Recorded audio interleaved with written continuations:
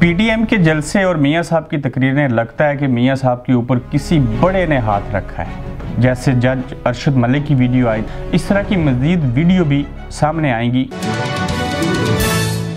वालेकुम, आप देख रहे हैं गोरख धंधा, उम्मीद है आप लोग खैरियत से होंगे। आज कुछ इन साइड स्टोरीज़ के ऊपर बात करेंगे कि जिन लोगों का, जिन सियासतदानों का सफ़र मुलम से मुजरम तक पहुँचा अख्ताम हुआ, पाबंदियाँ लगी और ये दोहरा मैार क्यों है और इसके पीछे ग्रुपिंग क्या है और मियाँ साहब जो अल्फाज कह रहे हैं, चाहे वो आर्मी के हवाले से हों इस्टेब्लिशमेंट के हवाले से हों, एक जुमला जो आप लोगों की समझ में नहीं आया होगा, उसकी पूरी तशरी करूँगा आपके सामने और इन बातों को तवज्जो से सुनिएगा।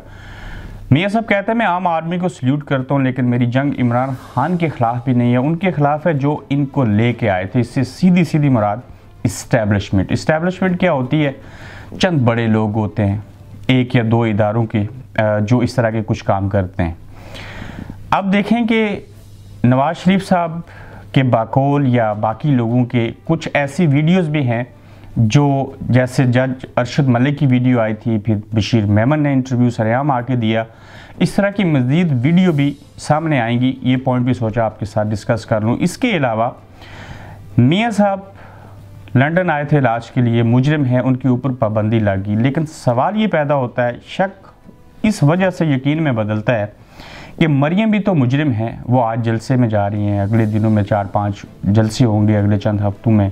दिसंबर में कहा गया, हुकूमत ख़त्म हो जाएगी। और अगर अवामी राय देखें तो वो भी मौजूदा हुकूमत के अगेंस्ट नज़र आती है। क्यों? उसकी वजह क्या है?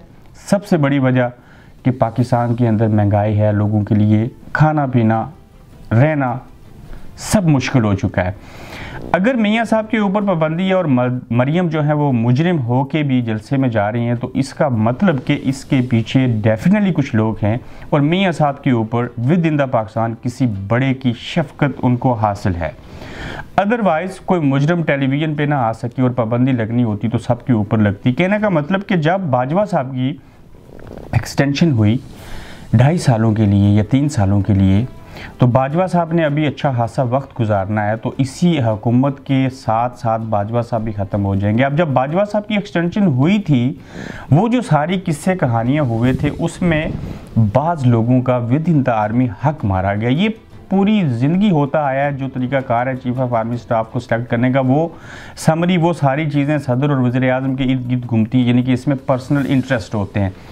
अब नेक्स्ट फ़ेज़ में जब बाजवा साहब चले जाएँगे तो इस वक्त भी जनरल फैज़ और बाजवा साहब एक पेज के ऊपर हैं तो जनरल फैज़ अगली लिस्ट में है चीफ ऑफ़ आर्मी स्टाफ बनने के लिए, और विद इन द आर्मी जो ग्रुपिंग है, जिस वजह से ये पीडीएम जलसे कर रही है, जिसकी वजह से ये लोग टीवी के ऊपर आ रहे हैं, एक प्रेशर डेवलप हुआ हुआ है, ये भी बता दूँगा इन जलसों का अख्ताम क्या होगा और क्या हुकूमत चली जाएगी कि नहीं?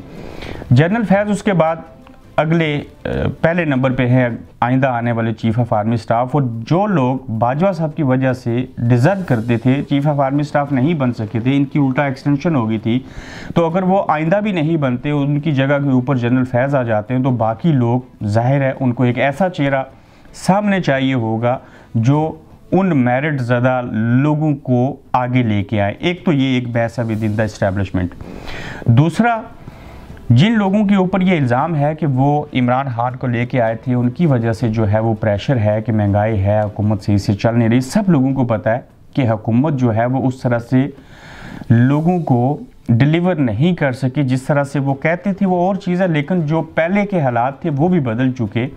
और इसका सबसे ज़्यादा जो प्रेशर है वो पंजाब के अंदर से है, और कभी भी इस्टेबलिशमेंट या हुकूमत पंजाब पंजाब के अंदर से प्रेशर को बर्दाश्त नहीं कर सकी।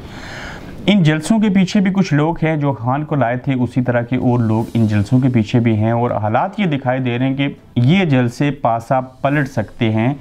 इस हुकूमत का, इस पूरे सियासी हालात और वाक़ात का, और उसमें देख लें, नवाज़ शरीफ साहब भी वीडियो लिंक के ज़रिए तकरीर करेंगे। बाकी चीज़ें देख लें। आवाम को ऐसे हालात में कहने की भी ज़रूरत नहीं है कि आप जलसे में आए, चूँकि पीटीआई के वो लोग जिन्होंने पीटीआई को वोट दिए थे, वो खुद भी इन जलसों में खुद अपनी मर्ज़ी से हिस्सा बन रहे हैं।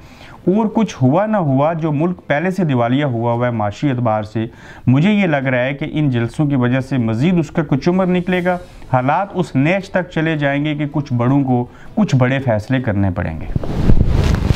आप देख रहे हैं गोरखधंधा अब्रार कुरैशी के साथ।